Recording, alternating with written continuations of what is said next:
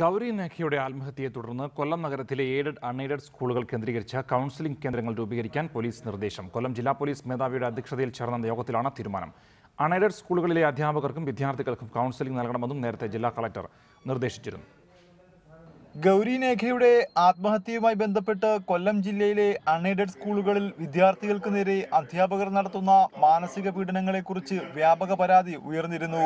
ഈ സാഹചര്യത്തിലാണ് ജില്ലാ ഭരണകൂടം അൺഎയ്ഡഡ് സ്കൂളുകളിലെ അധ്യാപകർക്കും വിദ്യാർത്ഥികൾക്കും കൗൺസിലിംഗ് നൽകാൻ നേരത്തെ നിർദ്ദേശം നൽകിയത്.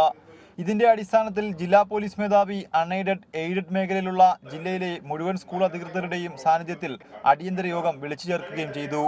ശക്തി സെൽ എന്ന പേരിൽ മുഴുവൻ സ്കൂളുകളിലും കൗൺസിലിംഗ് കേന്ദ്രങ്ങൾ തുടങ്ങാൻ യോഗം തീരുമാനിച്ചു.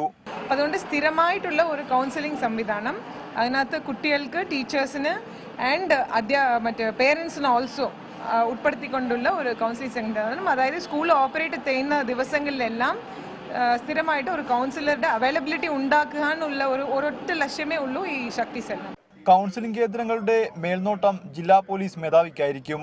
നവംബർ മുപ്പതിന് മുമ്പ് സ്കൂളുകളിൽ കൗൺസിലിംഗ് കേന്ദ്രങ്ങൾ ആരംഭിക്കാനാണ് പോലീസ് നിർദ്ദേശം നൽകിയിരിക്കുന്നത്.